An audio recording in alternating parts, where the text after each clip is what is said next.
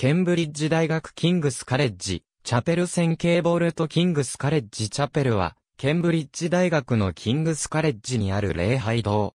垂直式ゴシック建築の代表例で、世界最大級の扇形ボルトや、中世の立派なステンドグラスなどで有名である。キングスカレッジ合唱団の活動拠点でもある。毎年クリスマスイブに、9つの聖書日課とクリスマスキャロルが行われる。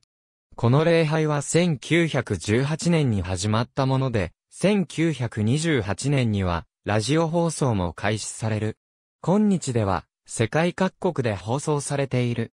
このチャペルはキングスカレッジで唯一国王によって建築が開始された建物である。1446年よりヘンリー6世によって建て始められ、国王自身が7月25日、聖ジェームズ祭において、礎石を置いた。建築開始から15年で基礎となる土台が完成した。この建築初期の頃は、近くで採掘された白い苦葉石が用いられた。バットレスの色が途中で変わっていることから、途中から種類の異なる石が使われたことがわかる。1446年頃までは、苦灰石が用いられていたとされる。ヘンリー6世は1471年5月にロンドン島で処刑された。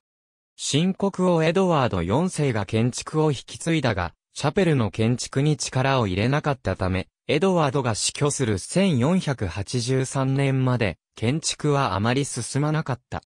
その後王位についたリチャード3世は6つの区画を建築し、そのうち5つの屋根にはオークや鉛が用いられた。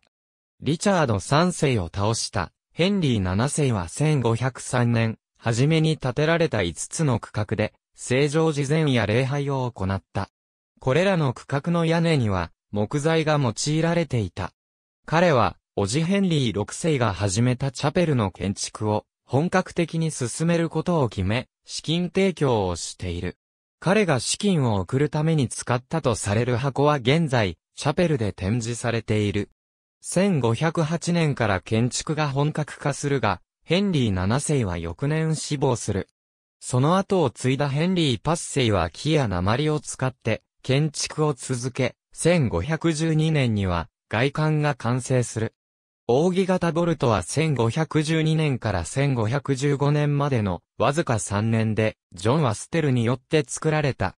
構造ができたのは1515年頃であるが、正式に使用されることになるのは1538年のことで、それまでに多くの装飾などが施された。実に70年間をかけて、歴代のイングランド王によって作られた傑作である。ありがとうございます。